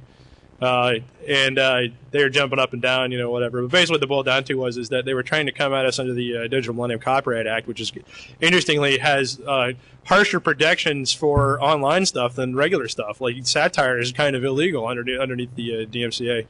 Uh, but only because no one's actually fought this thing yet. Um, there was a time where United Feature Syndicate was coming after us because we photoshopped. there, there was a for better or for worse cartoon that came out where Grandpa got laid or something like that. That got pulled from half of the uh, newspapers in the country, and uh, we photoshopped that, and the uh, United Features sent a cease and desist and just jumped up and down like crazy. So I called the EFF because they have guys that work on retainer over there for free to fight this stuff. And I talked to one of their attorneys, and he's like, "Well, is, you got you got a little bit of problem here." And I said, "Well, what's that?" And he's like, "Well, I mean, he's like, this probably is fair use without a doubt, but it's a federal judge you got to go in front of, and those guys get a pointer for life, and some of them are pretty loopy. Uh, and he's like, and as an attorney, you don't really want to be in a situation where you're going to walk into federal court without a slam dunk. And he says, in your particular case, this is not a slam dunk. And I asked him, well, why is that? And he said, well, there's there's a difference between uh, parody and uh, what you're doing. He said, let me give you a good example because you use Weird Al as the example. Weird Al does Eat It based off of Michael Jackson's Beat It. That's fine. Parody, protected. He can sell it. Doesn't have to have Michael Jackson's permission. He can just do it. But when Weird Al did uh, Yoda based off of the song Lola by the Kinks, he didn't have to pay George Lucas anything, but he sure as hell had to pay the Kinks because he wasn't making a parody of their song. He was making a parody of Star Wars. And that's that's the that's the issue. And basically, you can't say that every single one of these photoshops that was submitted is a parody of the cartoon because some of them have nothing to do with the cartoon at all. So he says that's basically. He says it probably still is fair use, but you know, it's like you, you don't, as an attorney, you don't want to walk into a situation like that. Interestingly, though, there have been a couple other Photoshop sites. Whenever this happened, I get an email from other sites get these cease and desist. I get contacted by these guys because they figure I probably have gone through something similar before, and they're right. And two or three of these guys have actually gone to small claims court uh, with photographers trying to come after them and have succeeded in winning fair use. So now there's a little bit of case law behind it. And so if they're on top of the fact that it's probably illegal anyways. So if it ever comes down to it, it should be fun. But in general, one of the tactics that people will do when they try to sue you is they basically try to run you out of money so you don't ever get to trial in the first place.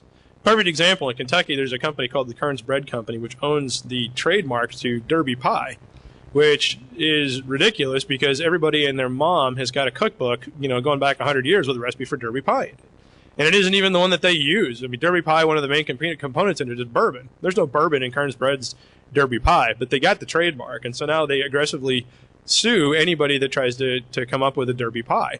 And this actually happened to a friend of mine that runs a diner in downtown Frankfort, Kentucky, where he was selling Derby Pie. And one day, the president of the Kern's Bread Company walked in the door and said, "Hi, oh, some of your Derby Pie." And he did. And he said, told, introduced him, told him who he was, and he says, "You need to uh, not sell this, or I'll uh, sue you." And uh, Rick threw him out of his restaurant got a uh, $2 million lawsuit hit with him the following day.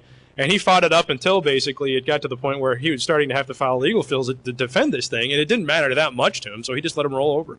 But the test for uh, the, the trademark stuff like that is that it's basically what do people, what does the general public think? Do they think it's a trademark or do they think it's something that shouldn't be? That's why you see really aggressive uh, defense of intellectual property by Coke, uh, because they if if Coke becomes a thing and not a drink that they make, then they lose the trademark. And that's actually happened. Um, I forget with what exactly. It was either Kleenex or Jello or something like that. But you can think of a million different uh, areas where this actually comes up, and that's why they're so aggressive on it because they lose the trademark, then they don't get a chance to defend it. And Pepsi could come out with a Coke because it's a thing now. Um, so, but that, that's the thing is, I, I, if, anybody ever actually does sue us for anything, whether or not we've actually done anything or not, that's the tactic they'll use is to try to run us out of money. And so we're kind of stockpiling for that eventuality because it's, it's going to happen. It's a matter of time.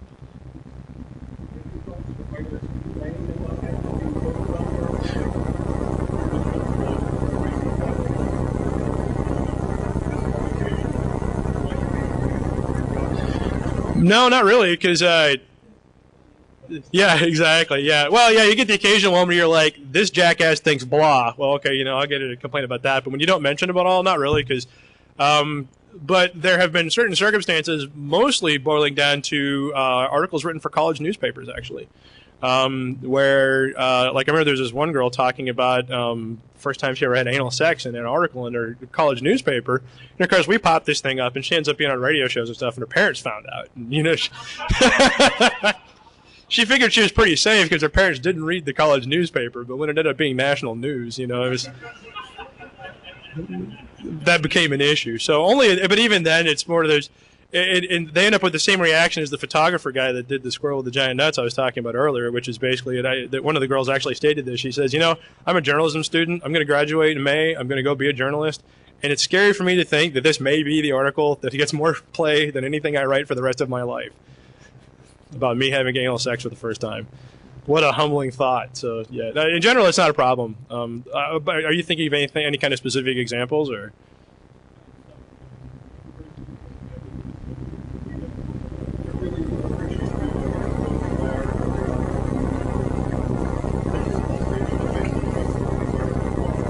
Oh, right. Yeah, I see what you're saying. Yeah.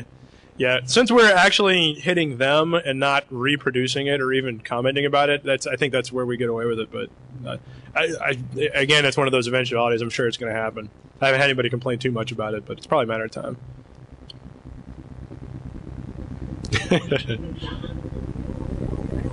oh, there we go.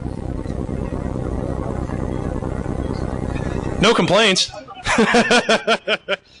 I had one guy once ask me, he's like, you know, we should figure out how much lost time is being caused by Fark, and I'm like, ah, no, we shouldn't. I don't want to know about it. Uh, that's one of the things that I, I will I'll talk about in person, no problem. But I don't, I don't want to put it on the website anywhere because I don't want Fark to be known as that place where people waste time. Because then that all, Fark ends up being in that same category in web filters of people's offices, and then uh, we lose we lose readership because most of our readers read at work we we have been submitted by people that are pissed off at the website as like hardcore porn. Um, but you can you can usually contact the guys that are blocking it and say, hey, this isn't hardcore porn. Some jackass sent it in because most of those filtering companies they don't check. They just assume that if it's wrong, somebody will complain. You know, I, I suppose that's easier than actually doing work. Um, what's that? No, actually, well, not that I know of, I should say, but no, none of them's actually blocked us because of that. But um, we have ended up on a few of them before, and I think the the worst case we ended up with, we ended up getting stuck in entertainment. I couldn't convince these one guys that we were news, um, and honestly, I can see why they would not think so. But yeah, we ended up not being able to do that. So yeah, hit me. Any which? Oh, you mean like similar stuff or? Not, not really. I mean, the the problem is is that there aren't really many sites that are doing what we're doing at all. I mean, there's a bunch of like guys that are trying to copy exactly what we're doing, but that's not really close. I mean, Slashdot and Drudge probably. I mean, that's probably as, as close as you're going to get. I, I can't I can't get a hold of Drudge for some reason. I keep dropping him emails and stuff. He won't write me back. I did I did complain to him once though because uh, we gave him a huge tip once, and uh, he just went on to pretend like it was his deal that he came up with. That's one of the things that actually irritates me about sites like like that is like because I, I never in a million years will pretend like we're coming up with this shit. I'm not rolling around finding this stuff and it's being sent to us. you know, this isn't me doing it. I'm just like, oh, that's funny. Up it goes. But I didn't write it. You know, most of the ones we send is not right. I'm not claiming ownership of this. We don't break news. I just kind of happen to see it and it pops up. But uh, sites like uh, Drudge and whatever do claim that they find this stuff, even though they completely exist off of tips too. Although Drudge does have a couple guys that do fact check. Uh, in this particular case, it was the morning that Marlon Brando died, which was kind of an interesting story. I was I had to drive to Chicago that day for something, don't remember what, and I was on in the queue in the morning, get ready to take off, and there was one news flash at five o'clock in the morning saying Marlon Brando died, and I check it out, and it's a TV station in Las Vegas, and it's one of the ABC affiliate, and they're like Marlon Brando dead, and they got the big career retrospective, but nothing else, and I was like, is this fake? Doesn't make any sense. So I checked it out, and yeah, it was a real, real news site. Uh, it, it didn't seem to be fake, and I was getting ready to just go ahead and kill this thing off until I looked into the comments there because the total farkers were already checking it out. They were scouring around on the internet, and they could not find any other mention of this. But the guy that originally posted it said, "I live in Vegas. I'm here. It's early in the morning, and they are running a non-stop Marlon Brando retrospective on the ABC affiliate. I don't know why. They think he's dead. Nobody else does, but they do." And I was like, "All right, that's good enough." So I popped it up. So the next thing I know, like literally two seconds later, the smoking gun IMs me and they're like, Brando's dead? And I said, I, I, I don't know. These guys in Vegas think he is. And uh, they're like, uh, "Well, have you have you followed up?" I was like, I, I told them what had happened. I said, I, "This is all I've got. You check it out." And they're like, "Okay, well, we're going to go tell Drudge because they've got Drudge and I am there, so they go tell Drudge." And uh, next thing that happens is, is that uh, it goes up on Drudge. The total farkers are tracking this as it goes. It goes up on Drudge. It Says Marlon Brando dead? Elaborate hoax? Question mark that was up for about 15 minutes and then the elaborate hoax was taken off and then they added family contacted confirmed.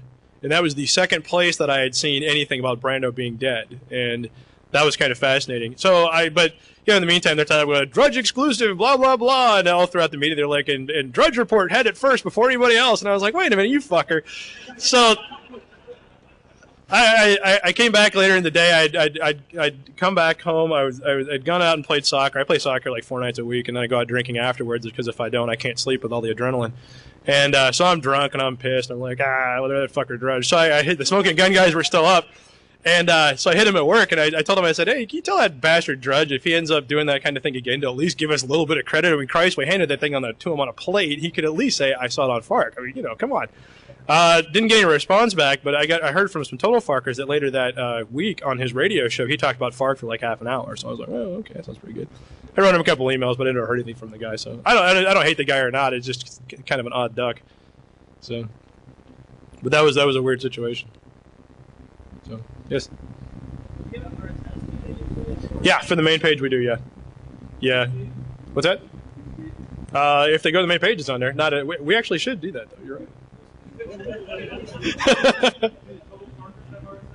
There's not one for Total Fark, no.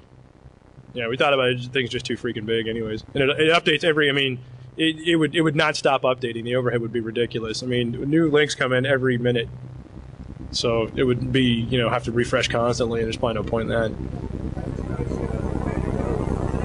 Yeah, uh huh. Yeah, we got that. Yeah, yeah, we had somebody set that up for us. Actually, there's a guy who had it, and he's like, "I really like your site, and I wanted to have it go. So uh, here, here's the code. Just put this up there." And I'm like, "All right, sure, that sounds good." yeah, that's actually happening. We've had a bunch of people that write, have written some uh, Fark extensions for Firefox, which are kind of cool. Um, those are on the page somewhere. I, I, know they're on there somewhere. I forget where the hell I put them. But uh, so yes.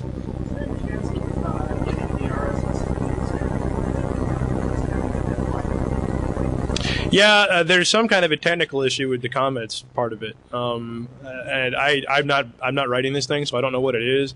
But I know that they, there's a, some kind of a holdup that they've been struggling with for a little bit, and I don't know what the hell it is. Yeah, yeah, it's being worked on, but I don't know what the problem is. There's something. Yes. Hmm. I didn't cover it actually. It's the exact same setup that Slashdot has. We're not running Slash code, but independently, without talking to them, we built the same site the same way um, FreeBSD, MySQL, Apache, and Perl. It's the exact same stuff. Um, we're doing it with three boxes. They're doing it with nine or twelve, I think, or something like that. So Linux sucks. No, I, I, not my choice. I don't. I don't do any server administration, and since I don't, I figure I'll just let Mike pick it, and he likes FreeBSD. I'm like, eh, sounds good to me. That's fine. Whatever. So it, it's kind of funny because you know I, there aren't too many exploits for FreeBSD. There's the occasional one for Linux, but FreeBSD I guess is off the map. It's the whole Macintosh Windows thing, I guess. Or something. I like it. It's all right. Having any trouble with it? Yes. Uh, we're between about 45 to 50 million page views. So uh, we do about. I haven't looked in a while. It's like 130 to 200 gig a day, I think, and it's all like text and tiny images. We don't have any uploads at all, so it's not too bad. Yes. Oh, we're colo. Yeah, we at one point we were at my ISP, and right before we moved it, it had crashed one day. Database server went down again, and uh, when it had gone down, I happened to look at the MRTG stats, and our outgoing traffic went from like pegged to zero, and I was like, "Whoa, hello, this is not good. This thing's eating up all the traffic for our entire ISP. I got to move this thing." And so. I, I put a link up saying anybody who's got a colo server anywhere, you know, let me know. And I, I, I got a whole, whole bunch of people contacting me. At the time. Bandwidth was not cheap at all. And there was but these uh, one guys the guys we're hosted with right now who are really really good. And i like them a lot. Not the cheapest but all right contacted us and they're like yeah we got a thing. We're all farkers. And that was actually the kicker. Since they were fans of the site i figured you know that's probably the best place to host it because they won't let it go down and, and in fact it, it, it, it's happened a couple of times We're like i'll wake up in the morning and be like yeah at 3 o'clock you developed a problem. We just logged in and fixed it. Hope you don't mind. Thanks. And i'm like sounds good to me. You have at it.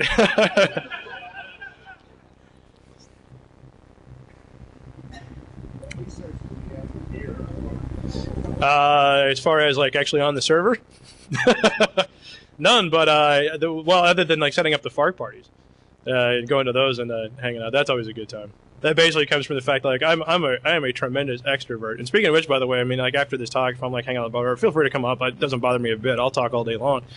Uh, I am a horrendous extrovert, and I work at home, so I have to get the hell out of the house every night and uh, so that's where it came from. It's kind of like I would end up being traveling for uh, business because at one point I was doing uh, database work. Uh, I still have three clients just because they're friends of mine. One of them is down in South Carolina, which is why there's a Charleston Fark party twice a year because I'm there. And uh, I'd be bored hanging out, and so I'd put up a thing saying, "Hi, I'm in town. Who wants to grab a beer?" I, I, I, I'd been working on this project in Spartanburg for years, and the first time I did that, I, it was 2000, 2001. I popped it up. Two guys wrote back. One was in uh, high school, and he's like, I can't come out. I just wanted to say hi, and I don't. The other guy didn't show up. Uh, and then the last time I was there a year ago, because I've skipped, uh, I put one up at four o'clock in the afternoon saying, I'm going to go over to Greenville, next town over. I'm going to be at this bar. Anybody wants to come out, show up. And 50 people showed up. It was great gave me something to do for the evening. I was going to be bored otherwise. So, so it's been amazing watching how that's kind of progressed.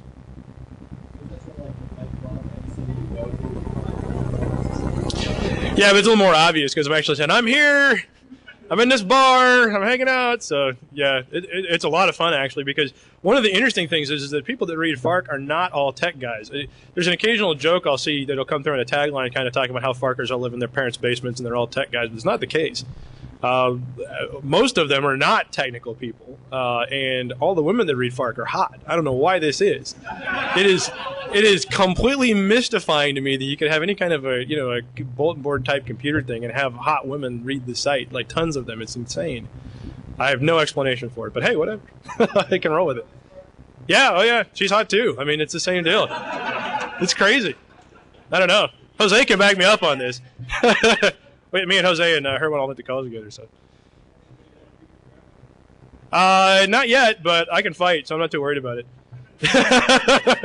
I also figured too that if there's ever any trouble, not only aside from the fact that I can handle myself, there's also like another, you know, usually 20 to 50 people in the room that will probably also try to kill the guy. So. so, so whatever I can get my hands on. yes.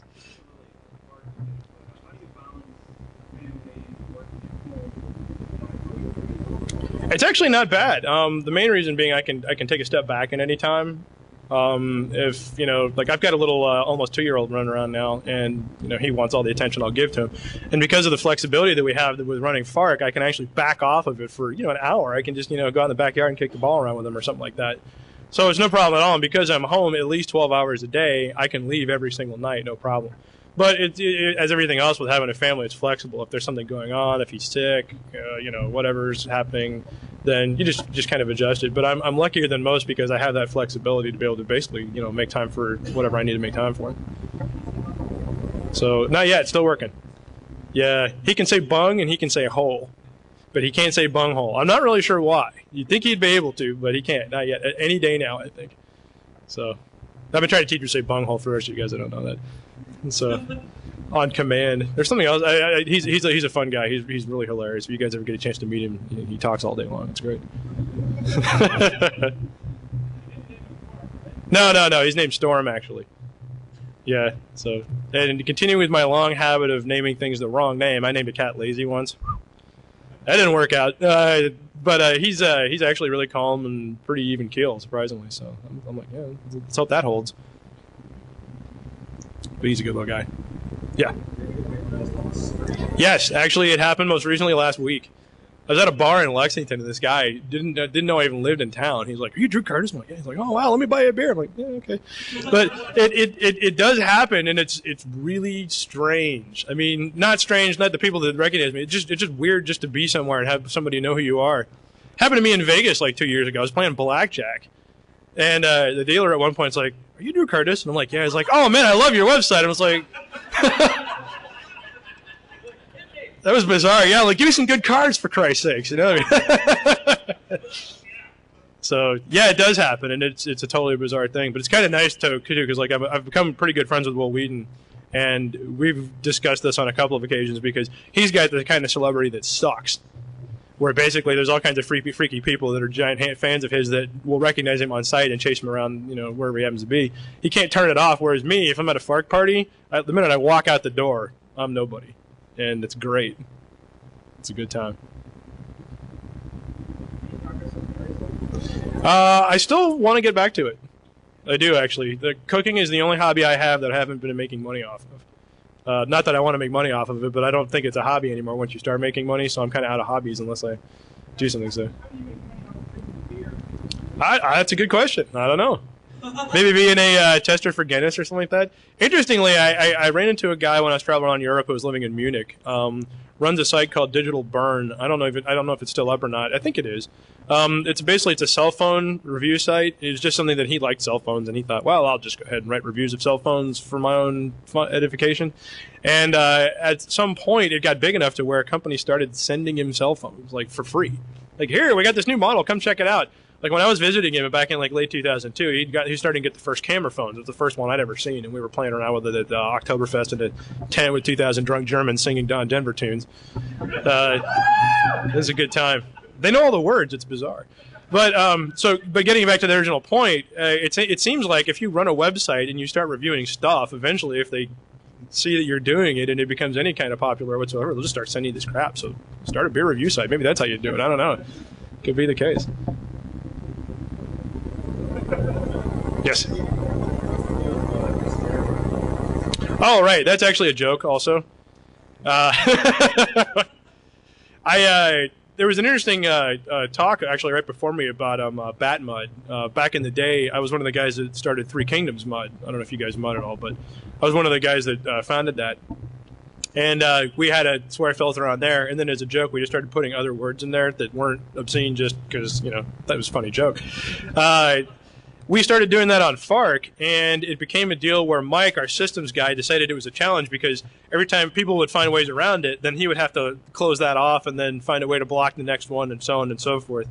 And uh, so that's basically where that came from. And then we've just added some other things in the filter that, like, I don't particularly care about swears, but I think it's effective when you block them to make people have a really hard time to actually do it because it carries so much more impact when you see the word fuck in a comment on Fark because you don't otherwise. You're like, whoa, because you know how that guy had to try like hell and probably got banned for a week for doing it. so it carries more impact, and that's what I like is that they, they, it actually increases the power of those words. Oh well, it's just it's just a joke. Same deal. yeah, basically, yeah. It's just for fucking around, basically. So. Me? No, actually, I don't. No. no, not at all. It's funny. Anybody else?